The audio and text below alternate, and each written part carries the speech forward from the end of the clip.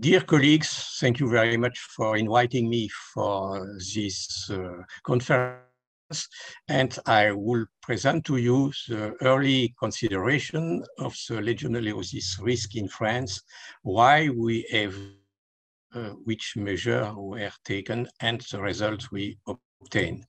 So I am, sorry, I am Philippe Hartemann, uh, distinguished professor of uh, the Nancy School of Medicine, and I was uh, previously past chairman of the European Scientific Committee SCENIHR in Brussels, and I am also the past president of the French Society for Hospital Hygiene, and I do not have any conflict of interest to declare.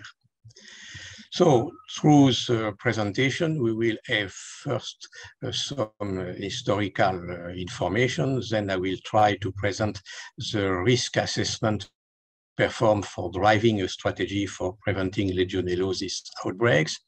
Then we will see the French prevention strategy, the results, and then go to some conclusions. So firstly, historical view. So before the 80s, the, for drinking water treatment, the word sterilization was wrongly used uh, when water, drinking water was treated with chlorine. So that means everyone was convinced uh, the water was sterile. The distribution network was a black box and biofilm was quite ignored. And so in hospitals, we use only tap water and what, we, what was called sterile water, which was not really sterile in most of the case. So since this period, it was uh, an evolution. We know potable drinking water may contain hazardous microorganisms for patients and able to induce waterborne healthcare associated infection. So we have also now a lot of of consideration about the different water use for cares, the different opportunistic pathogens, the interaction inside biofilm, and the status of immunosuppressed patients, which is very, very important. And for cooling towers, even in presence of low residual disinfectant, is also contaminated with biofilm. So now everyone is clear with this information. So in France, we began very early uh, to combat legionellosis because of two events. The first one uh, is uh, during the World Football Cup in Paris in 80. In 98 was a small legionellosis outbreak due to a cooling tower, but it was not really uh, important and the media didn't know uh, this incident.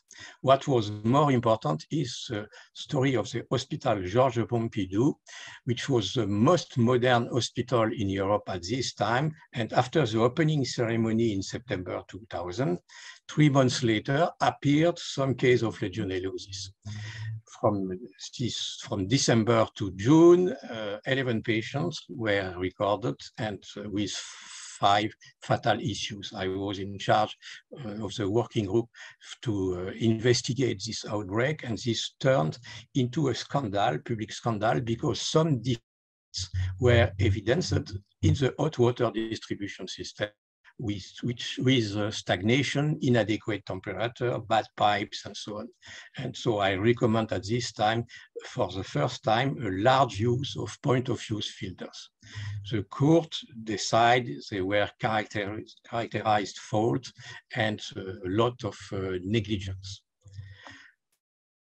Many other outbreaks were described on the same time in Europe. And as a consequence, in France, it was an intense pressure from patient association and media. And the Minister of Health said to me, we shall never see it again. Do what you want. So for this reason, there were numerous and successive regulations for legionellosis prevention published since 98. And also a creation of ad hoc working groups for on water quality in healthcare settings in France, but also in different European countries with a scientific exchange between experts. And in France, we published a water grid, that means uh, water guidelines for healthcare settings in 2005, but it was uh, written uh, some years before. So this is the cover of uh, this guide and what is inside, we decide to give information to the people about the most important hazards and sanitary risks linked to water in hospitals, how to organize a global approach for the management of the quality of water. We decide to categorize uh, different kinds of water and for their uses it was also important to give knowledge to, of the installation and the principal modes of failure linked to water distribution, how to realize the water distribution networks and how to maintain uh, these uh, networks. So after this uh, information, we, at the same time, we've tried to make a risk assessment process for driving a strategy for preventing legionellosis, taking into account epidemiological surveillance, control measures, analysis, and mandatory uh, reporting. At this moment, in absence of uh, reliable data related to risk assessment for the patient, it was not possible to use only one numerical value for the limit concentration of a microbiological parameter. So, and because taking into account uncertainties due to some uh, enumeration, is no real difference between two results differing from around 50%. So that means we may not use, as we say in French, a guillotine parameters, for example, 1000 uh, UFC per liter. If it is 99, it's perfect. If it is 1001, it's uh, bad for uh, the tribunal. So for this reason, for scientific and legal reason, we define a target level. This is like a green light, an alert level, orange, and a maximal admissible level, red light. So it has been done uh, 20 years ago it was for each parameter and especially for Legionella pneumophila, we propose uh, these three levels and also we taken into account uh, the exposed patients. That means there were six level to be applied in one hospital. So there are some inconvenience. It's not so simple for people to, to understand what does it means. And it is not always easy to apply. For example, is the patient at risk or not? So that means which kind of uh, uh, level we it's necessary to use. But there are some advantages. It is very pragmatical and uh, a pedagogical approach and a medical legal protection.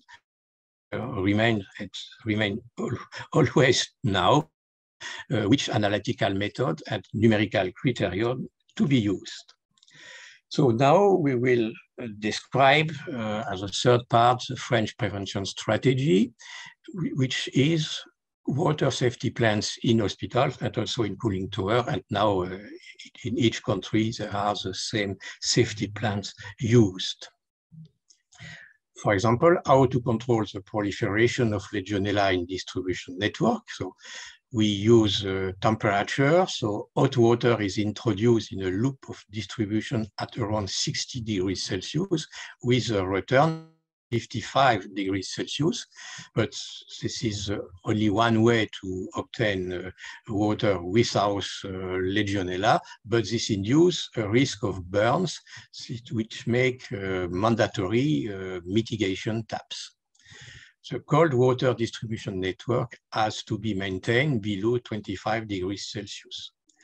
We have also to increase the level of sample analysis with a regular mandatory sampling for Legionella pneumophila of critical points. We have also to make preventive measure if unused network, for example, during the holidays. And for immunocompromised patients, we decide to uh, generalize the use of point of use filters because we saw that continuous disinfection was rarely efficient. So that means you have a scheme, if the threshold is exceed, it was necessary to implement uh, corrective action to secure uh, the point of use by filter if necessary, and to restore the microbiological quality of water. So we discussed with other European countries, as you can see on this uh, slide, uh, the level, target level are quite the same in France, Germany, Netherlands, United Kingdom or Italy, which is not present on this slide. So we decided also to create a new quality of water in hospitals, which was called bacteriology controlled water.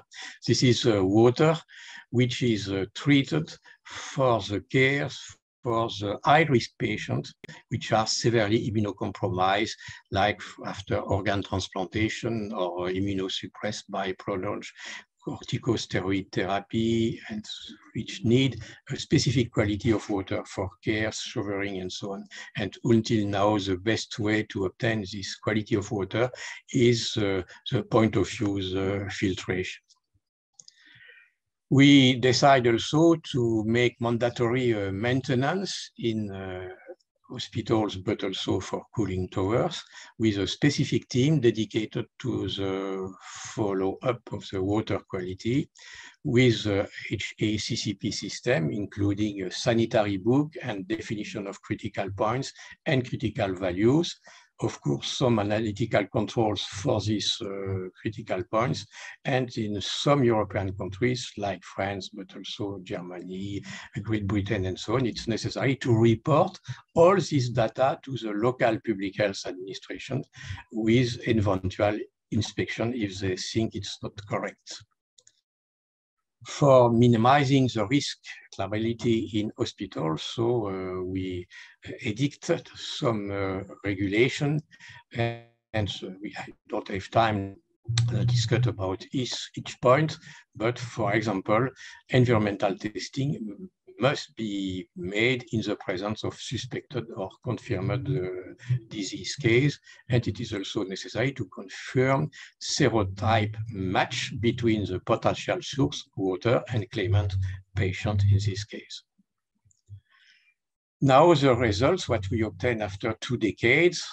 So we know inlet water that means drinking water with a good chemical and physical quality is absolutely necessary, both for hot water networks and cooling towers. Of course, necessary to have a well-designed and maintained network. To organize brainstorming on the different use and adequate organization for uh, preparing water safety plans in all public buildings and cooling towers. It's not only hospitals, it's in all buildings since now more than 10 years, to organize routine monitoring to target the primary pathogen, in this case Legionella pneumophila, but it could be another pathogen, for its because it is important for maximizing public health value and minimizing uh, unnecessary remedy. We discover that chemical disinfection is often only a temporary solution in water networks, but this is indispensable table, of course, for cooling towers. And what is the most important is the collaboration of each member of the staff and also necessary to have a long way to go before seeing positive epidemiological results. For example, in France, we have no new legionellosis outbreak in hospitals for more than 10 years, but it was decided to spend 10 years for obtaining this uh, result. So if we are comparing the evolution in France, Europe, and US. So the incidence of legionellosis is now stabilized in France with a gradient of incidence from the east to the west, and you will see the figure. There is a contrasting situation between uh, countries at the European scale, and as you certainly know, incidence is still on rise in the US. So this is here the record of uh, the number of legionellosis cases in France since now three, three decades. And at the beginning, uh, the, since the mandatory reporting uh, was instituted, uh, there were quite no case declared.